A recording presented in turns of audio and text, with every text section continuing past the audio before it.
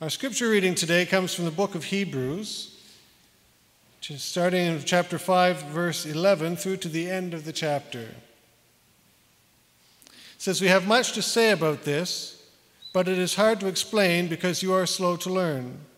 In fact, though by this time you ought to be teachers, you need someone to teach you the elementary truths of God's Word all over again. You need milk, not solid food. Anyone who lives on milk, being still an infant, is not acquainted with the teaching about righteousness. But solid food is for the mature, who by constant use have trained themselves to distinguish good from evil. May God add his blessing to our reading of his word this morning. Well, good morning.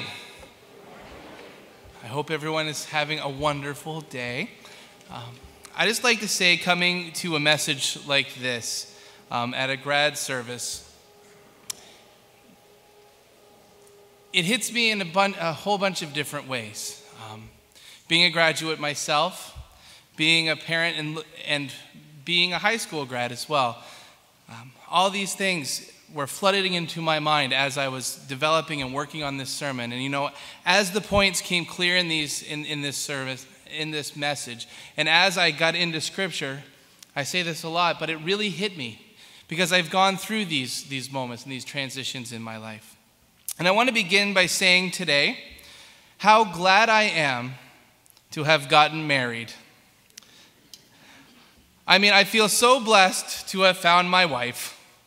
God knew exactly what He was doing when He brought Sandra to me. I know, ah. it must be nice being the preacher to say such nice things about your wife from the pulpit.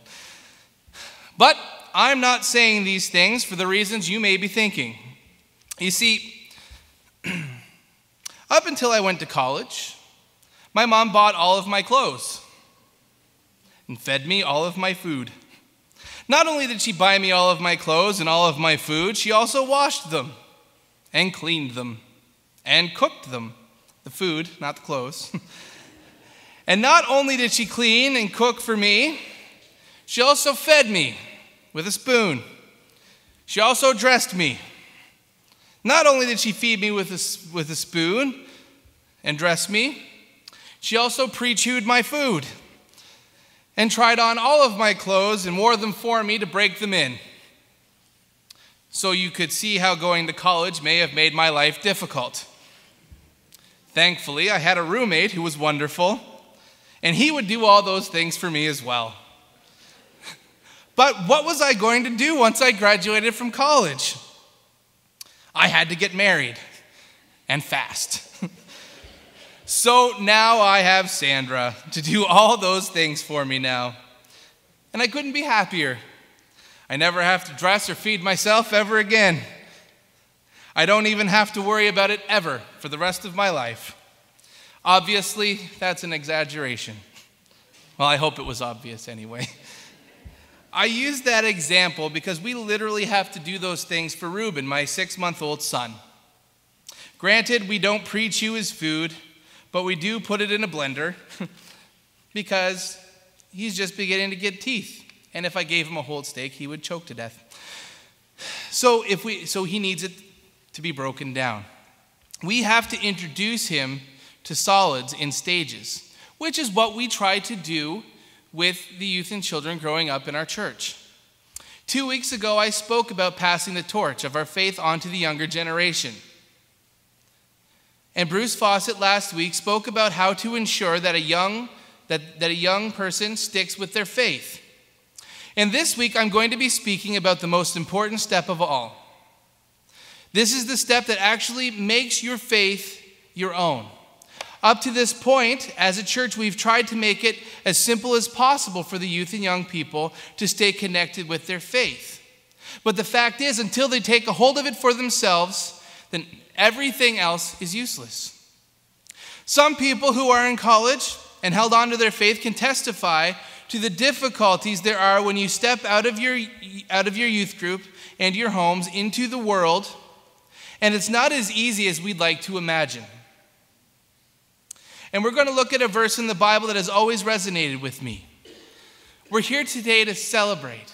We're here today to celebrate the great achievements that our grads have accomplished. It was a lot of work, it was a long road, and I know there were many sleepless nights for a lot of them. And so I want to encourage our graduates today to celebrate, but also to be prepared for what's coming next. Because this is not the end of something. Well, it is the end of something, but it's not just the end of something. It's also the beginning of something new. And we need to remember to include God in those things. And this is why I've chosen Hebrews 5 11 to 14. This is why God led me to these verses. And they read, We have much to say about this, but it is hard to explain because you are slow to learn. In fact, though by this time you ought to be teachers, you need someone to teach you the elementary truths of God's word all over again. You need milk, not solid food. Anyone who lives on milk, being still an infant, is not acquainted with the teachings about righteousness. But solid food is for the mature, who by constant use have been trained themselves to distinguish good from evil. I, as Bruce Fawcett did last week, would like to speak to two groups, three groups of people this morning parents and adults, the college graduates, and the high school graduates. First, I would like to speak to parents and adults about this passage. Not just parents, though, but the adults in this church, or any church for that matter. Who taught you? Why are you here this morning? Or if you're watching on YouTube, hi. Why are you watching this message today? We never talk to the YouTube people. Are you a milk drinking Christian? Or are you a solid food eater? In this passage, the author is speaking to Christians who should know better. He said in verse 12, In fact, though by this time you ought to be teachers yourself, but you need someone to teach you the elementary truths about God over again. He's saying you should know this by now.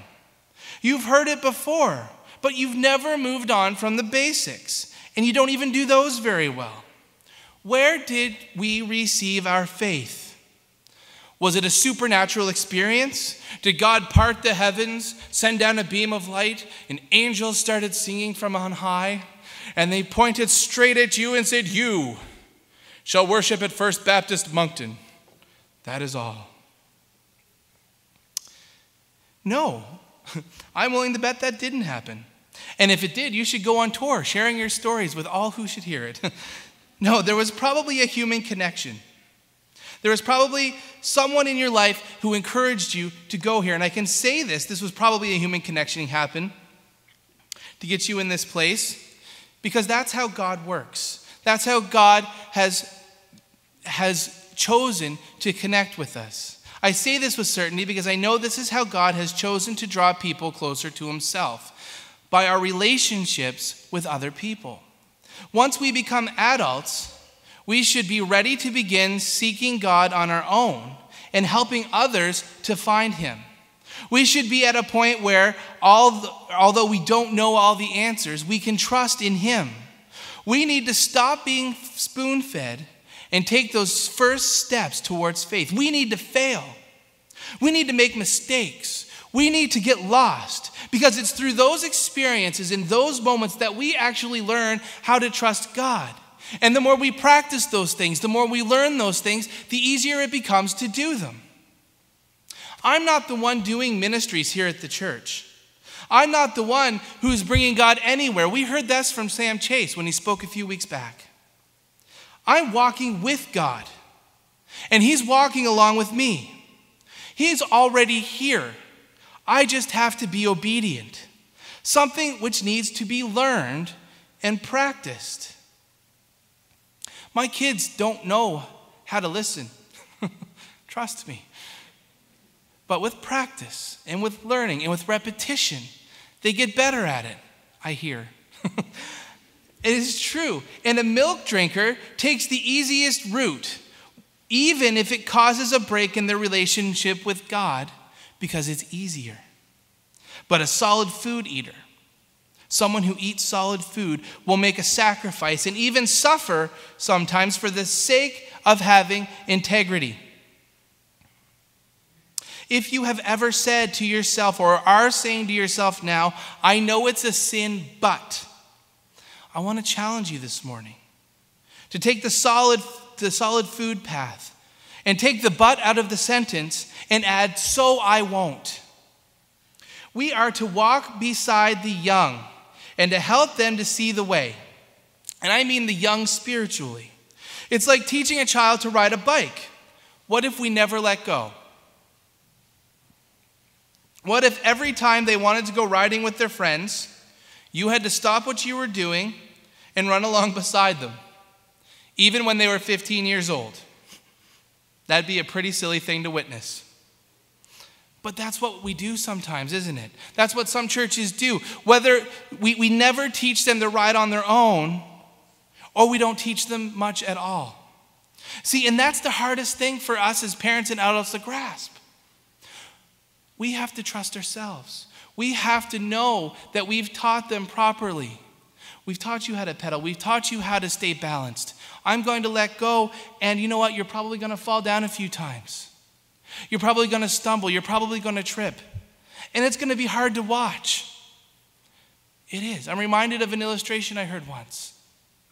What if my daughter Savannah was trying to thread a needle? I know even the most skilled of us have a hard time doing that sometimes. And I, I, I, come into the room, and for whatever reason, she has a needle at five years old, I don't know. But she's trying to thread a needle. And she's pricking her finger, and she keeps missing the hole. And there's a little bit of blood. And as a dad, it kills me to watch her suffer and struggle like that. So I have two options I can take it away and do it for her, or I can let her do it. She's not doing anything dangerous with it. I mean, it's causing a little bit of pain, but. And then imagine if I let her go through with it and she threads the needle herself. All of a sudden, her eyes light up Daddy, I did it. Look what I did. And now she has the skills to be able to do that in the future. If I have the wisdom to, to allow my child to do that on her own, how much more wisdom does God have when dealing with his children? See, God isn't looking for perfection from us, parents and adults. He actually takes our imperfections and glorifies himself because of them. I have heard people say to me before in past ministries that they couldn't mentor the youth because they didn't know where they would start or how to do it. Great. They say they can't do something because they do not possess the skills to make it happen. Well, that's good. Because there's another guy in the Bible who had the same attitude. His name was Moses. And he was chosen to be God's mouthpiece.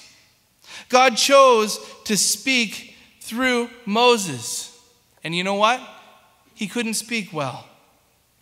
But because of that, because he couldn't speak well, he had to rely on the strength of the one who created his mouth. I'll fill you in on a secret. We're not adequate. I'm not adequate to be up here preaching to you. Just ask my wife. but I do it because I have the message that I know God has given me this morning. And this is what's asked of you grasp the basics and let go. Allow God to guide you through the intricacies, the things that are more difficult to hold on to. Grasp the basics. Well, what are the basics? God loves you. I don't care who you are or what you've done, He loves you. He wants the best for you. Basics. Worship Him. Be available. Say, Yes, Lord, send me. Pray. Read. Live for Him. Model this to our youth and to our children and to our young adults. They need to see the basics at work in our lives. Read to them. Have integrity in all aspects of our lives. Have no secrets. Be honest. Say, I'm sorry when it is required. Pray with them. Worship with them outside of the church. Do family devotions. Have family non negotiables, things you will not break. There are no gray areas in some places. It's about being consistent and trusting the truth of God. I love you. The basics. Eating solids is about handing down the torch to the younger generation. It's about putting them first in their growth. For example, if it came down to it and I only had enough food to feed myself or my children, I would make sure they got the nutrition they needed first. Because they need it more than I do. It isn't about me anymore. It's about making sure our faith in Jesus Christ is passed down to the ones who need it. Our youth are dying to know Jesus. And we have got to make sure we're being solid food eaters for them. This verse is not about making us feel bad about where we are. It's an encouragement to move forward in our faith. If any of us are still drinking milk in their relationship with God this morning, then make a commitment today to step forward. Make a move to eating solids. Mentor someone. Join a small group. Step out and show the youth in our world that it is more than just attending church once a week. Our faith is alive, and it should be a part of every part of our lives home, work, school, church. And if you need to still learn the basics, don't be embarrassed by that. Learn it and then take it seriously. And if you know the basics, then continue to use them. So, parents and adults of our church, it's about knowing what the church is and when to pass it on. And now I would like to speak to the college graduates. And I'm going to ask them to come to the front row. I know it seems strange, but right here in the front pew because it has something to do with what we're going to be doing later in this service. So, if anyone here is any of our graduates, if you could come to the very front, that would be great. What a great day to celebrate the achievements that you have done. Some of you are done, some of you are just beginning something new, and you'll be here again in the future. And I want to say, well done. Congratulations. I simply want to encourage you this morning I want to say to you that this can be a turning point for you or a moment of strengthening. Maybe you've never really grasped the basics and have always been on a milk diet. Maybe no one's challenged you or allowed you to challenge your faith. What? Challenge my faith? You heathen. I'm dead serious about this. Maybe your relationship with God is very strong and progressing. But I want you to know this Every Christian should know why they believe what they believe. And I know when I was growing up, I was taught that I just have to have faith and trust God, and He will answer any questions I have when I meet Him in heaven. Well, the truth of the matter is, God welcomes an intelligent quest for the truth. He actually encourages us to do this in the Bible. Two verses found in Ecclesiastes 5 5. It's better not to vow than to make a vow and not fulfill it. In Luke 14 25 to 33, large crowds were traveling with Jesus, and turning to them, he said, If anyone comes to me and does not hate his father and mother, his wife and children, his brothers and sisters, yes, even his own life, he cannot be his disciple. And anyone who does not carry his cross and follow me cannot be my disciple. Now, listen to this. Suppose one of you wants to build a tower. Will he not first sit down and estimate the cost to see if he has enough money to complete it? For if he lays the foundation and is not able to finish it, everyone who sees it will ridicule him, saying, This fellow began to build and was not able to finish. Or suppose a king is about to go to war against another king. Will he not first sit down and consider whether he is able, with 10,000 men, to oppose the one uh, the one coming against him with 20,000? If he is not able, he will send a delegation while the other is still a long way off and will ask for terms of peace.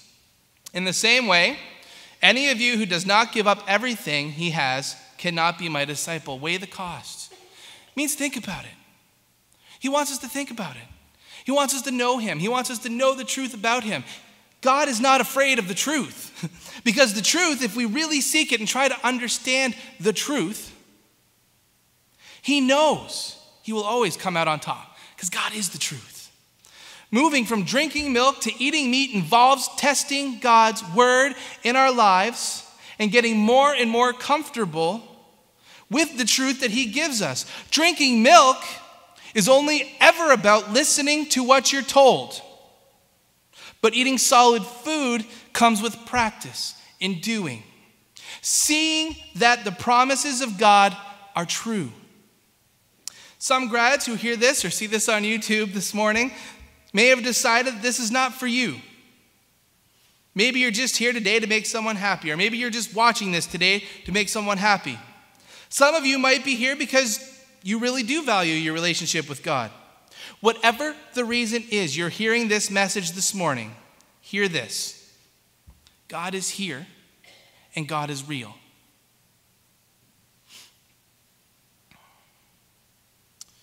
How we respond to God and to that truth is important. And I want to challenge you today to take a serious look at the relationship you have with God and think about where you are. We need to practice, just like when we started eating food as kids. It's easy to swallow. We've tried many different flavors. Parents get that exciting time to see what face they'll make next. Sometimes my son, who's six months, Reuben, doesn't like peas, but they're important for him to eat in order to be healthy. Maybe some of the food you have eaten in the past has been sour or bitter. Maybe you've been hurt. We live in a fallen world, and that's going to happen sometimes. But the pain we endure is similar to mashed peas. it was preparing us for the better food down the road. I can't say when that will happen, but it's the truth. God has better things prepared for us in the future. And as we slowly introduce new things to our diet, as we slowly introduce small portions of meat, eventually they get bigger and bigger, and you learn how to cut it yourself. And then you learn how to cook. Because you are now at the cooking stage. You decide how this recipe turns out. Will it be something good and solid? Or will it be another batch of milk? Some of you heard that last part of the sermon and said, That doesn't apply to me. The church doesn't work, it's broken. I don't want to be a part of that, and I challenge back. Part of what? The living body of Jesus Christ? Reaching the lost, supporting and loving one another, because that is what the church is called to be. Not judgmental, not, some people have an opinion that churches are judgmental and set in their ways. That's not what they are. Sometimes churches get lost. Sometimes churches loses focus on their mission.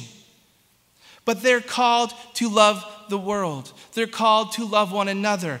And in fact, that's one of God's main rules. When Jesus is asked about what the greatest commandment is, he says every other rule centers around this truth. We have these rules because God only wants the best for us. And He does have rules. But the rules that God has for us are based on what He knows is best for our hearts. Think about it this way I have rules for my kids. Why? Is it to be mean? No.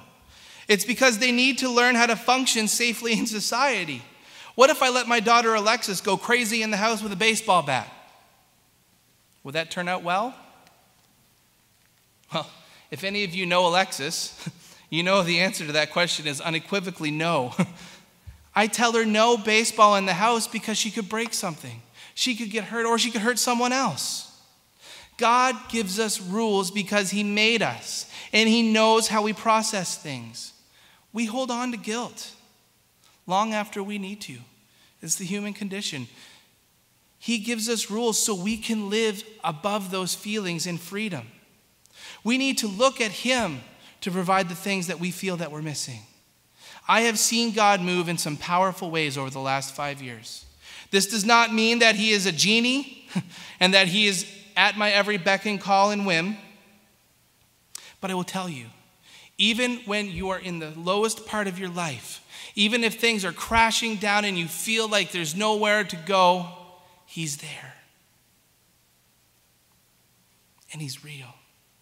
And if this morning I'm talking and you hear this feeling and you feel like I need to relight my torch, I want to encourage you to do it. Light it. Torches can be relit. And some of you are here today and say, Yes, absolutely. I get it. I understand. Tell me something I don't know, Andy. Well, that's great.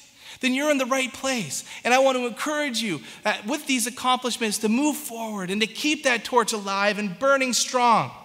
Keep running this race with integrity and keep practicing your faith until you get to know God in an even more personal way because that journey never ends. Keep your torches burning. So, college grads, take the next step. Keep that torch lit. Parents and adults, remember to know how to pass it off and when to pass it off. And high school grads, I think they're all up front now. You're next. And this is it. This is where you can start making your own choices. You get to choose what school you go to. No more zoning. Hooray! You don't have to go to courses you don't, well, you probably will have to go to a few you don't like, but you get to pick your courses more. What's my major going to be? What do I really want to be when I'm done? Should I go to that party? Should I hang out with those people? Do I want to wake up this morning and go to church? These are all your decisions to make now.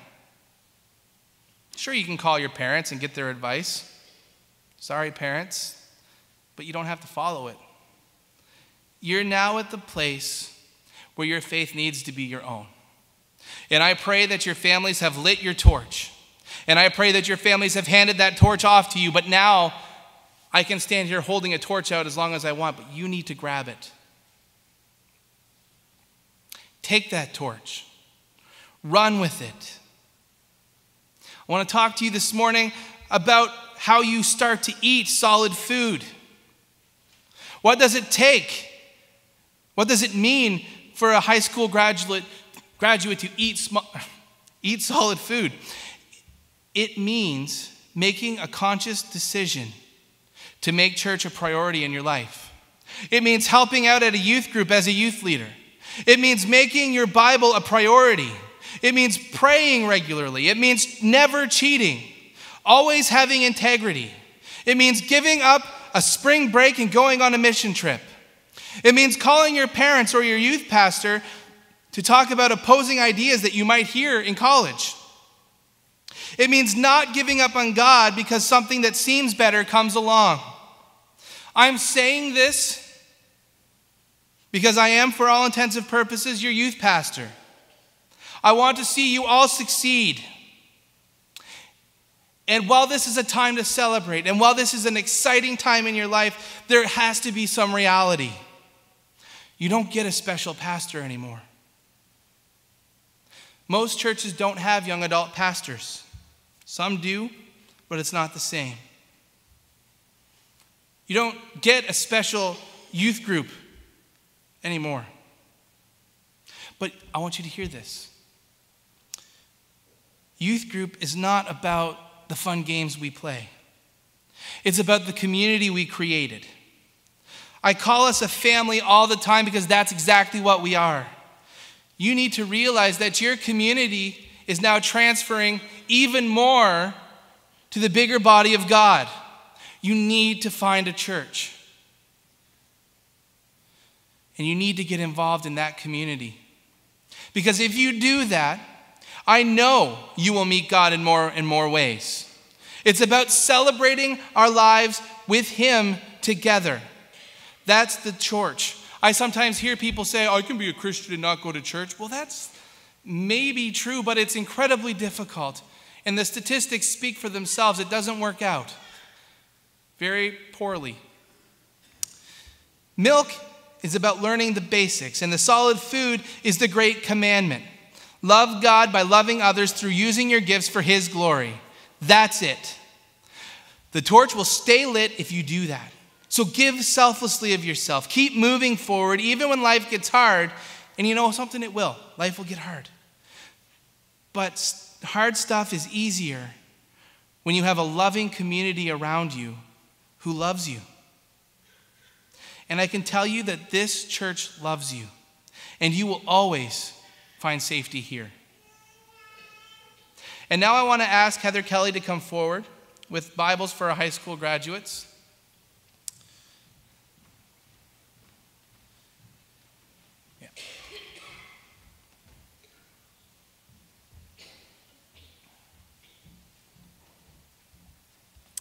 Hi guys. Um, just wanted to say a few things. I mean, obviously, looking at the at the pictures and everything there today, we've uh, watched most of you grow up uh, throughout uh, throughout the years, and so it can be hard to believe that you're already here, graduating from high school, university. Although Andy also graduated this year, so I'm not sure how he got out of the picture slideshow. But uh, anyways.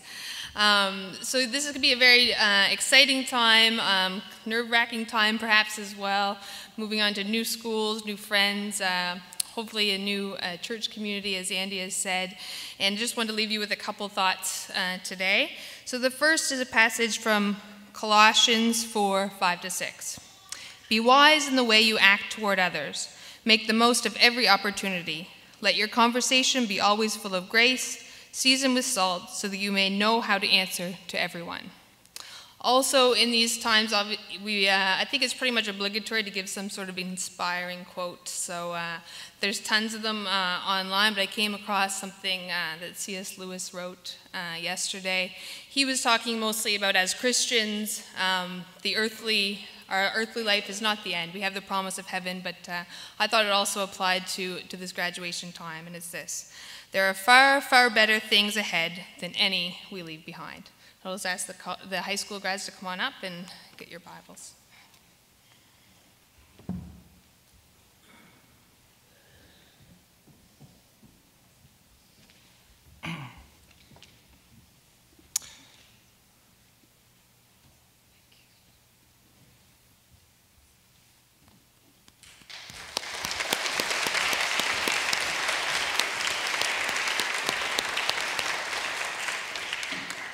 And just as you return to your seats, right there, I want to tell you those are not Bibles. Well, they are Bibles, but they're not just Bibles. They're a symbol of the hopes and prayers that this church has for you. And every time you look at those Bibles, I want you to remember that you have an incredibly large family here that is praying for you always. And that's the truth. And now I want to ask the church to respond. I'm doing something a little out of the box this morning, but it's important. I want to ask the grads all to stand up here at the front and face the congregation.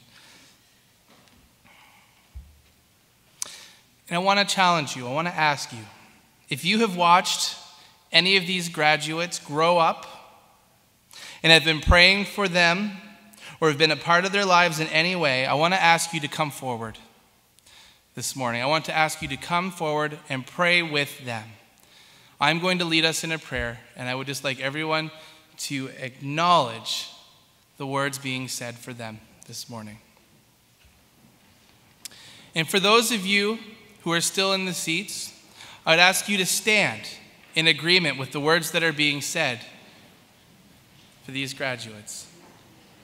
Because this is a time to celebrate, this is a time to lift our people to God and to be with them. Let us pray. Lord God, we thank you for the accomplishments that these graduates have earned today. And Lord, we thank you that you have brought them through this church and that you have loved them and protected them.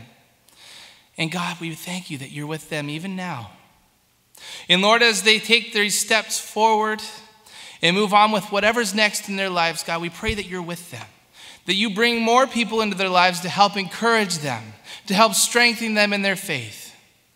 And Lord, we pray that attacks of the enemy are, are kept away from them. He has no power over them. And we pray for your safety and guidance in their lives. So thank you, Lord, for bringing them this far, for the accomplishments and the achievements that they've had. And Lord, let this moment right now in this sanctuary be a moment they can think back about how much their church family loves them and supports them and wants the best for them. Let this be a defining moment in their lives today. For Lord, it's in your holy name we pray these things. Amen. And now, as we return to our seats,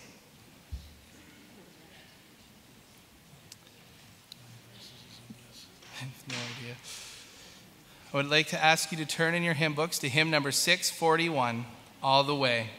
All the Way, hymn number 641.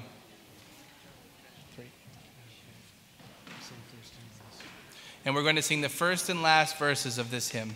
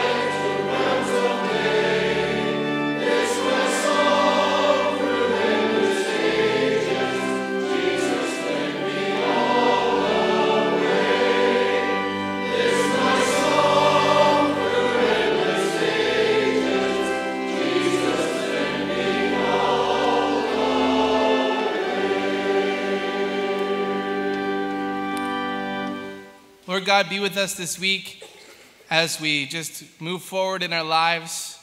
Be with our families and, our, and in our relationships. God, be just the very center of everything we are. As we go out from this place this morning, use us for your kingdom to glorify yourself.